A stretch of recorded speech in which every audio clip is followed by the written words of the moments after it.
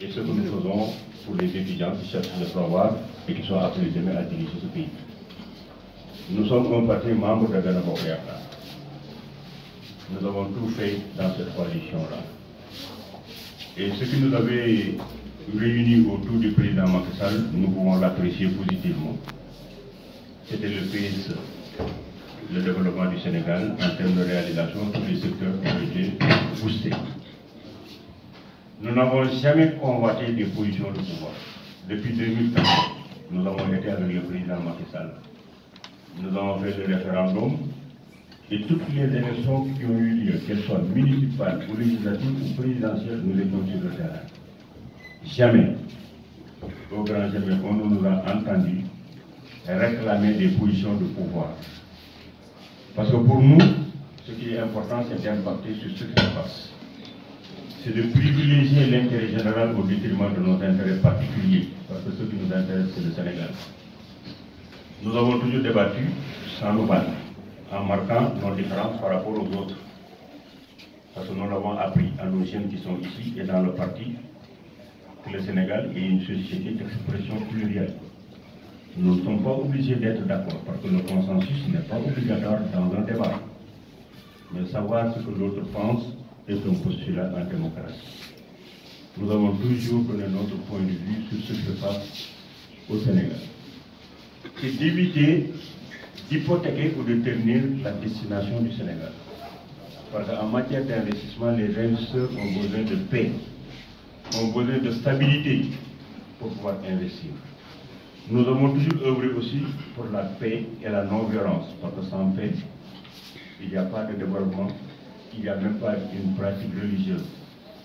Et nous avons toujours été choqués, et je le dis toujours, je parle de torture pernicieuse.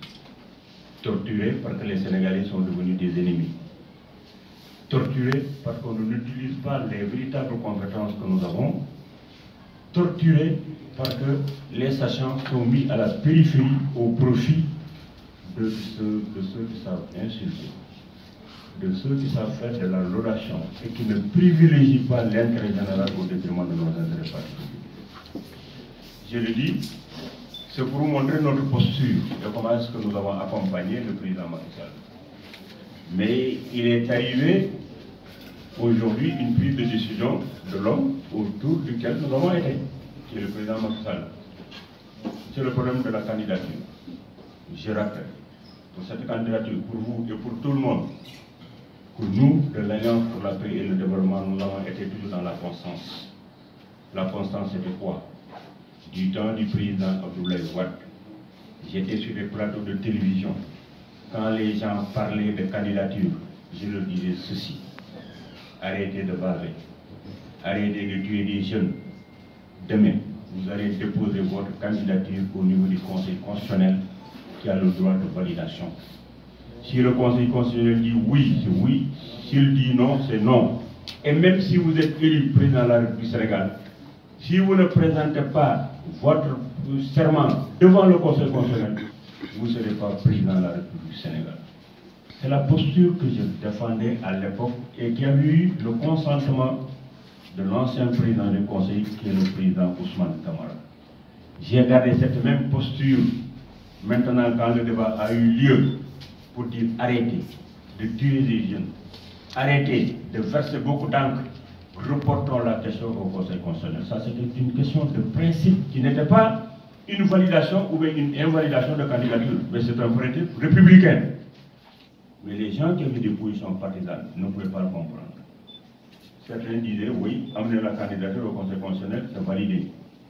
D'autres disaient le contraire, mais qu'importe, moi je reste régalien, je reste collé au droit. Mais le dépôt d'une candidature, c'est une affaire personnelle.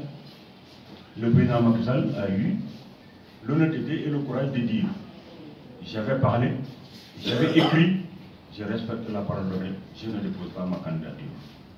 C'est appréciable, parce que ça donne une idée comme quoi que la politique n'est pas une activité mauvaise. C'est les gens qui font la politique, qui se dédisent et qui ont un comportement qu'ils amènent partout, dans les daïres, dans la presse, partout, c'est un problème d'homme.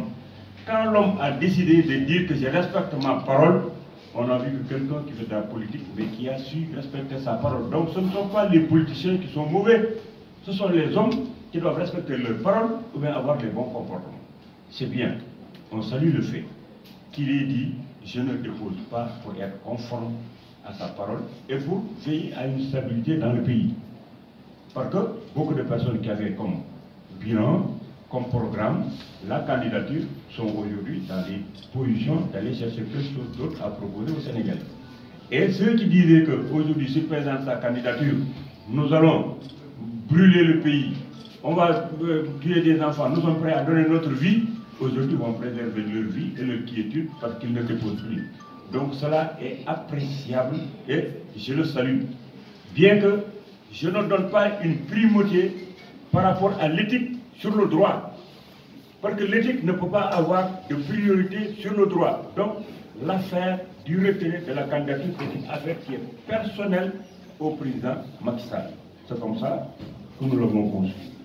Quand il l'a convoqué maintenant pour nous en informer et discuter sur le problème de la carte blanche. Moi, j'ai été à cette rencontre. Et j'ai eu l'honnêteté de dire au président Macky je ne regrette pas de vous avoir accompagné, je vous ai accompagné. Vous avez fait un bilan, vous avez fait bouger tous les secteurs, bien que tout ne soit pas positif, parce que seul Dieu peut faire quelque chose qui rencontre l'adhésion de tout le monde. Aucune œuvre humaine n'est parfaite. Il a fait du bon, il a fait du mauvais.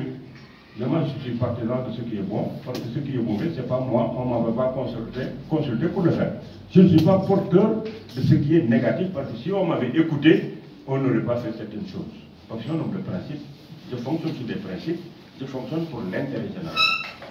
Alors de là-bas, j'ai eu l'honnêteté de lui dire en face, devant tout le monde, et je crois que nous n'étions pas nombreux, nous qui avons dit qu'on ne donne pas la carte blanche.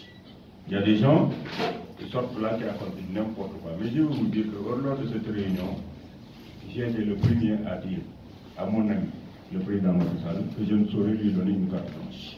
Je n'ai pas donné de carte blanche. Mais elle a s'est prononcé pour dire que il ne donne pas de carte blanche parce qu'il doit être le candidat de Benoît Quelques partis de la gauche, tels que IDF Mbolomi, la LDMPT et Bassirou se sont prononcés pour dire qu'ils voudraient une concertation. Modiane Fada était venu, il a dit qu'il venait de descendre de voyage, alors il faut qu'il ait informé son parti. Mais quand le président lui a demandé, il lui a dit que oui, il lui donne une carte blanche. Le président dit ça n'est pas ah Donc, après, une synthèse a été tirée. De cette synthèse, la synthèse était celle-ci. La majorité de Beno Bokéakar m'a donné carte blanche pour que je désigne le candidat de Beno Bokéakar. Tchernodo, El Diouf et quelques parties de la gauche ne m'ont pas donné carte blanche, je vais les recevoir. Voilà la synthèse de Beno Bokéakar, pour qui vous dire la vérité? Après, le lendemain, il m'a reçu. J'ai été le voir, c'est le jour où il recevait les députés de l'Assemblée nationale. Nous allons discuter en toute cordialité, en toute fraternité, en toute amitié sur les questions du Sénégal. Parce que nous n'étions pas là-bas pour parler seulement de candidature, on a parlé du Sénégal, des six mois durant lesquels il doit gérer ce Sénégal. Nous en avons discuté, je lui ai donné mon point de vue. Pour ce qui est de la candidature, je lui ai dit, il faut que j'aille rencontrer mon parti, recueillir leur position pour que nous puissions donner une suite. Et c'est ça que nous avons retenu comme principe. Que je vienne voir mon parti, que nous puissions nous retrouver pour essayer de donner suite maintenant pour l'élection de février 2024. Aujourd'hui, je vous fais la synthèse de notre réunion. Certains membres de mon parti, peut-être que quelqu'un, même si je dis ceux qui l'ont exprimé de par leur cœur, de par leur vouloir, J'aurais pu dire qu'aujourd'hui, ils auraient souhaité que, je suis que soit un candidat à l'élection présidentielle. Pour d'autres, ils l'ont dit manifestement. Pour d'autres, ils ont dit qu'ils me donnent carte blanche, ce que j'ai refusé à Macky c'est ce qu'ils me donnent. En disant que il faudrait que je puisse défendre les intérêts du parti. Et que le parti a décidé aujourd'hui de ne plus travailler pour des présidents en poste, de travailler pour une majorité sans pour autant qu'on ne reconnaisse la valeur et la représentativité de notre parti. Parce que ce que vous devez comprendre, on a un parti dont le leader a un coefficient que tout le monde connaît, parce que quand même, je ne suis pas un moyen faible de la chaîne. Hein. J'ai fait une trentaine d'années dans le secteur privé. J'ai été ministre conseiller du président Abdoulaye deux fois président de commission à l'Assemblée nationale et j'ai géré deux trois départements ministériels. J'ai été président de commission dans un mandat électif, passage dans le secteur privé, trois postes de président parlementaire. Qu'est-ce qui me reste? C'est d'être président de l'Assemblée nationale, premier ministre ou président de la République. Et j'ai ajouté que parmi tous ceux qui veulent diriger ce pays, mettons les critères qu'il faut pour désigner. Parce qu'aujourd'hui, on aurait dû définir des critères pour choisir l'homme. Je l'ai dit, et ça ne plaît pas toujours, en disant que ce n'est pas sur la base d'un décret présidentiel que j'ai eu mon premier emploi. Ça, c'est un. Il y a beaucoup de politiciens qui ne peuvent pas le dire. J'ai ajouté, en 1978, quand je prenais l'avion et quand je gagnais de l'argent, où étaient ceux qui veulent diriger le pays actuellement? Qui répondent à cette question Carnet d'adresse, secteur privé, le premier voyage à travers le monde, qui le mettent sur la table. Deuxième critère, parmi tous les ministères que j'ai fréquentés, j'ai laissé des traces. J'ai boosté les choses, j'ai assuré une continuité que personne n'a fait au Sénégal. Ça veut dire qu'arriver à un ministère, ne pas changer les hommes que vous y trouvez, à commencer par le directeur de cabinet jusqu'au plus petit pranton. Je n'ai jamais occupé un ministère et changé les gens que j'ai trouvés. Je n'ai jamais vu. Je remplace une personne, on est en compétition dans le département de Cameroun, je laisse toutes les personnes qui l'accompagnent, son directeur de cabinet, ses CD, ses directeurs, je n'ai jamais changé une personne au niveau d'un ministère. Dites-moi un seul ministre depuis les années d'indépendance qui a eu à faire cela. Deuxième critère. Troisième critère. Je lève ma main, je le dis. Je n'ai jamais pris de foncier de l'État du Sénégal. Si j'ai un centimètre carré que l'État du Sénégal m'a donné, je l'ai dit au président Macky Sall, à Abdoulaye Wade et à tout le monde de le signaler et comment on en prive. Troisièmement, j'ai tous mes enfants qui sont à l'extérieur. Personne n'a bénéficié d'une bourse de l'État du Sénégal. Je n'ai ni foncier ni argent. Et partout où je suis parlé dans les ministères, je n'ai pas laissé de cadavre. Je ne suis pas un milliardaire. Le patrimoine que j'ai, quand on prend mes 30 ans de secteur privé, on sait que j'ai la possibilité d'avoir deux maisons à Dakar. L'une des maisons, je l'ai eu à partir de la CEPRES, je l'ai payée pendant 15 ans. L'autre, là où vous êtes, je l'ai acheté que ceux qui veulent diriger le pays fassent comme je viens de faire, pour qu'on puisse voir leur parcours, qu'on puisse voir leur intégrité, qu'on puisse voir le patrimoine qu'ils ont par rapport aux différents postes qu'ils ont occupés. Est-ce que ce, les postes-là peuvent permettre d'être un milliardaire au Sénégal? Qu'ils aient le courage de dire qu'on regarde mon patrimoine foncier. S'il y a une partie qui découle de l'État du Sénégal, qu'on m'en prive, qu'on m'en en prive. Mais chers compatriotes, si on doit choisir au Sénégal ou au niveau de Ben un candidat qui pourrait ne pas être attaqué par les populations sénégalaises à cause de deniers qu'ils ont pillés, à cause de fonciers qu'ils ont pris, à cause d'un enrichissement illicite, je crois que je devrais être le candidat de Benno Bokyakar si on partait sur ces critères. Vous êtes témoins de l'histoire. Vous êtes des journalistes, vous êtes des Sénégalais, vous savez bien de quoi je parle. Les Sénégalais ont besoin de gens qui sont internes. Ont besoin de gens qui se disent que la politique, fi agana à et le patrimoine commun, il faut le préserver. Il faut travailler pour l'intérêt général des populations. Il faut prendre les meilleurs d'entre nous pour diriger ce pays. Et sans la foi, vous ne pouvez rien entreprendre. Je ne suis pas riche, je n'ai pas pris de foncier, je ne traîne pas de cadavres, j'ai un carnet d'adresse et j'ai pratiqué l'administration sénégalaise. Donc, qui peut me dénier aujourd'hui une possibilité de pouvoir diriger ce pays?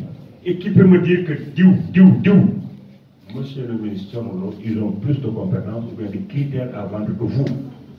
Si aujourd'hui on avait la possibilité de faire un sondage, un sondage, je l'ai fait récemment dans le pays, on saurait qui est qui? Mais mon handicap, vous savez ce quoi? Tout ce que donne l'adoration ne sera pas pour moi. Tout ce que l'insulte à la bouche donne ne sera pas avec moi. Les intrigues, les manifestations, les folklores, les machins, les tapes à l'œil ne sont pas les forces qui me quittent. Je parle sur des principes. Pour l'amour que j'ai pour le pays, pour l'honnêteté et la franchise.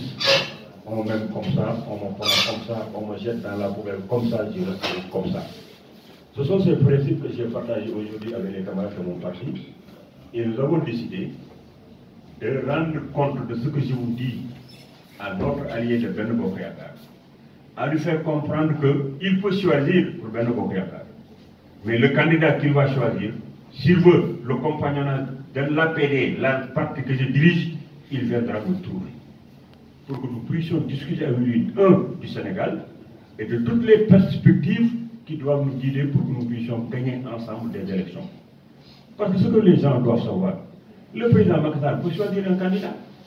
Mais ce candidat-là, c'est lui qui devra être président de la République du Sénégal.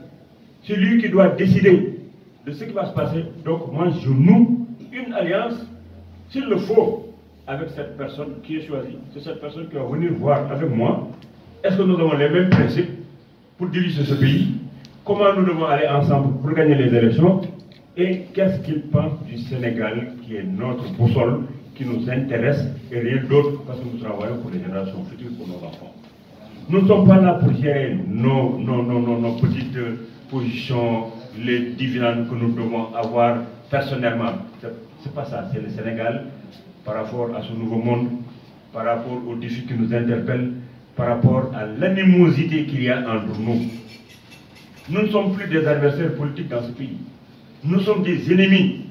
Chaque jour que Dieu fait, on ne soucie même pas des jeunes qui ont perdu leur vie. On ne soucie même pas de leurs parents. Chacun est en train de voir comment je dois me positionner, comment je dois être président de la République Sénégal. Et les jeunes qui ont perdu leur vie, et ces parents-là qui ont perdu leurs bras, l'avenir de ce Sénégal, avec ce nouveau monde, les nouveaux défis qui nous interpellent, nos ressources minières qui viennent de sortir, et que les gens ont l'habitude de réguler les pays africains par la guerre, par les guerres tribales, par les maladies, par les querelles, par les querelles en, en démocratie. Et au moment où on s'entretue, ils sont en train de piller nos ressources minières. Et les gens doivent savoir que nos ressources minières, elles s'épuisent et ne se renouvellent pas. Et que le Sénégal n'a pas le droit de connaître la malédiction du pétrole. Parce que des gens nous ont précédés. Il suffit de regarder quels sont les tares auxquels ces pays sont confrontés pour les éviter. Ces tares, ce sont les divisions que nous avons là. C'est l'animosité qu'il y a entre nous. Le Sénégalais, on se regarde en chien de faïence. Nous sommes devenus méchants. Et vous croyez qu'on peut faire face à ces défis qui nous interpellent? En ayant un pays comme ça Donc, premier critère que nous réglons avec ce candidat qui devra être avec nous, c'est la stabilité du Sénégal. C'est rendre les Sénégalais qu'ils arrivent à s'aimer. Que nous puissions savoir que nos contrats ne sont pas des contrats à durée indéterminée, mais des contrats à durée déterminée. Et personne d'entre vous ne sait si sera là en 2024. Ousmane Tanonien, Djibolé Itika, Dansoko, Maître Ousmane Sama et tant d'autres sont pas. Et pourtant, ils étaient des candidats de Bénin On doit savoir que le Sénégal, c'est un patrimoine commun. Il nous appartient à tous. Le président Macky et ses ministres sont des serviteurs de la République. Et nous tous, nous devons aspirer à servir la République. Et que chacun d'entre nous doit savoir que si l'intérêt général est préservé, ça rigole jusqu'au petit paysan qui est derrière. Et que nous devons prendre les meilleurs d'entre nous pour diriger le Sénégal. Et le tout doit être basé sur une foi. Voilà le modèle que nous allons proposer à celui qui devra être en face de nous. Si Dieu, le miséricordieux, le clément, qui a déjà décidé qui doit être président de la République du Sénégal, décider aujourd'hui que ce serait Tchernolo, je serai président de la République du Sénégal, qu'il plaise, qu'il vente ou qu'il neige, Tchernolo sera le président de la République du. En attendant je ne peux qu'être qu'un simple citoyen sénégalais. Avec son parcours, avec ceux qui l'accompagnent, qui sont du dignes Sénégalais, que vous n'avez jamais entendu à la télévision dire oui, on veut des postes, on ne nous a pas donné. De 2014 à 2021, nous avons été avec le président Macky Sall. Vous êtes des hommes de médias. Est-ce que vous avez entendu une seule fois un jeune garçon, une dame ou un vieux de l'APD se mettre à une télévision pour réclamer des postes? Jamais ils ne le feront. Parce que c'est des hommes d'honneur. Ils travaillent. Et ils savent que le respect et les principes sont des choses qui nous guident. Nous sommes un modèle. Une école du parti, un siège, des militants qui sont sur le terrain, qui ne demandent rien, mais qui ont des principes.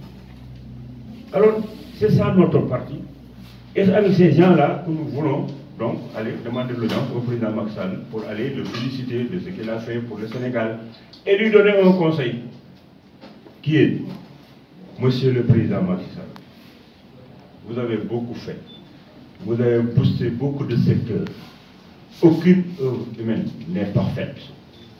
Mais vous avez eu une grandeur qui a été de dire j'ai écrit, j'ai parlé.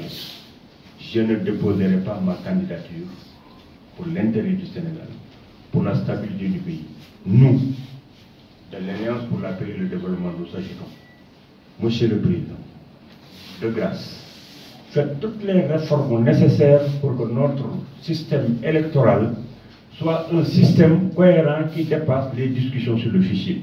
Vous pouvez le faire. Pour la bonne simple raison qu'aucune de ces réformes que vous allez entendre ne va impacter sur vous. Monsieur le Président, vous êtes débarrassé de toutes les pressions d'opinion et de groupe. Vous devez sortir par la grande porte et l'histoire du Sénégal va retenir votre nom. Si vous arrivez à faire ceci, les questions qui ont trait aux violences qui se sont passées au Sénégal, de grâce, qu'on les respecte en mettant des commissions d'enquête composées toutes les composantes qui vont nous permettre demain, si nous désignons des coupables, que les gens puissent savoir que ces gens-là ont été réellement les coupables de ce qui s'est passé, pour que ça ne nous reproduise plus dans le Sénégal. L'autre conseil, Monsieur le Président, demandez à votre Assemblée nationale faites une consultation des personnalités qui sont au niveau du Sénégal pour que vous puissiez régler toutes les questions qui sont d'ordre politique. Parce que toutes les questions politiques ont des solutions politiques. Nous avons connu la Côte d'Ivoire, il y avait des milliers de morts d'hommes. Ils se sont retrouvés autour d'une table.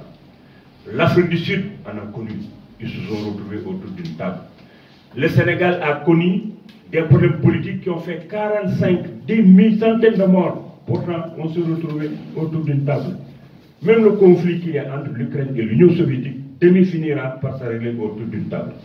Ce petit pays que nous avons, le Sénégal, qui a connu des fractures que nous ne devions pas connaître. Pour aujourd'hui, se retrouver autour d'une table pour penser ses blessures, pour qu'elles ne soient pas béantes, pour que nous puissions continuer à nous aimer. Il vous appartient de savoir que c'est votre histoire que vous êtes en train d'écrire. Faites les réformes. Apaisez. Rassemblez les Sénégalais.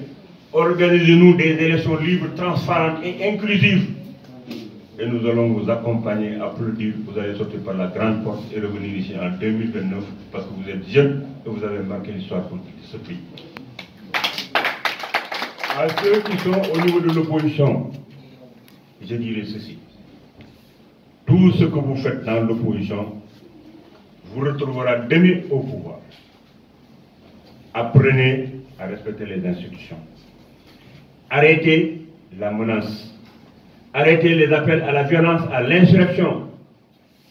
Parce que demain, quand vous serez au pouvoir, quand les jeunes vont vous mettre devant vous pour dire que nous allons venir vous déloger du palais, qu'est-ce que vous allez faire? Quand les jeunes seront là pour vous insulter en tant que président de la République, qu'est-ce que vous allez faire? Quand les jeunes ne respecteront aucune institution, voudront régler les problèmes par la rue. Quel va être votre comportement? Ce que vous faites dans l'opposition, faites de telle sorte qu'une fois que vous soyez au pouvoir, qu'on ne vous le fasse pas. Quand vous êtes au pouvoir aussi, évitez de faire des choses qu'on pourrait vous retrouver une fois que vous êtes dans l'opposition. Il faut qu'on réarme notre population. Il faut qu'on arrive à respecter nos institutions pour que nous puissions avoir un pays qui est debout, parce que notre démocratie n'est pas irréversible et les jeunes, nous ne sommes pas comme les États-Unis où on cowboy pour ce pays. Nous ne sommes pas comme la France où n'importe qui peut être président de la République parce que c'est un État assis avec des fondements très solides. Nous, notre démocratie, elle n'est pas irréversible. Elle a besoin d'être encadrée. Donc chacun d'entre nous doit faire un effort sur lui-même pour que nous puissions communiquer juste et vrai, nous dire la vérité pour l'intérêt général du Sénégal. Mais on ne peut pas dire que nous allons prendre le pouvoir par la violence. On ne peut pas dire une société d'expression plurielle comme le Sénégal, nous allons museler les gens pour que les gens ne disent plus ce qu'ils pensent. C'est un leurre. Et c'est réellement moral dont je parle, nous concerne nous tous. Vous, journalistes, vous êtes des citoyens d'abord, vous allez voter. Tout ce qui se passe ici impacte sur vous. Eux, c'est des politiciens. Il y a des jeunes qui sont chômeurs dans Beno Bokyakar, d'autres qui sont chômeurs dans l'opposition. Il faut qu'on pense à ces jeunes, à ces dames, pour leur donner de l'espoir. Parce que, écoutez, Lénine, à un moment de l'histoire, s'est posé une question. Il a dit que faire? Et ce qu'il faut faire, c'est de donner un rêve à notre jeunesse. Parce que John Fitzgerald Kennedy n'avait pas fait rêver les Américains, jamais il ne serait sur la Lune. Le rêve, il est fondamental. Et les jeunes ont commencé à le perdre. Il faut les faire rêver. Il faut donner les signaux de stabilité. Il faut vendre la destination du Sénégal. Parce qu'aujourd'hui, l'investissement direct est mort. L'investissement privé est mort. Parce que la destination du Sénégal n'inspire plus confiance. Comment voulez-vous avoir des emplois? S'il n'y a pas de création d'emplois, si le secteur privé ne vit pas Les gens n'investissent plus parce qu'on ne parle que de violence. Quand vous regardez le Sénégal, c'est vraiment des checkpoints, des hommes armés, des pneus qui brûlent, des discours de violence. Comment voulez-vous construire un pays dans cette violence-là? Donc veillons pour la stabilité du Sénégal avant que nous puissions penser à celui qui va diriger ce pays. Parce que si ce pays-là n'est pas armé, s'il n'y a pas de paix, aucun président de la République ne peut le diriger. Et ça va impacter sur vous. Le président Macky a dit l'autre chose, quelque chose qui est très important, que les Sénégalais l'ont joué. Il a dit, oui, si vous brûlez, si vous, si vous, si vous cassez le berger, si vous cassez le terre, si vous brûlez le cadre république, vous le faites à qui? Moi, président Macky je ne prends pas le berger, je ne prends pas le terre. Ces enfants ne le prennent pas. Ce sont nos camarades, nos fils, là, nos parents qui sont à Yembel, à Guédiawaï, à Kermassa, qui doivent venir en ville, qui ont besoin de du terre, du berger. Donc ce sont les pauvres qui détruisent ce qui servent ces pauvres-là. Donc nous avons conscience qu'il y a, d'autres comportements. Donc en gros, pour résumer, voilà ce que nous avons partagé aujourd'hui comme principe et qui avait fait l'objet de notre réunion qui a commencé depuis 9h et jusqu'au moment où on rencontre vous.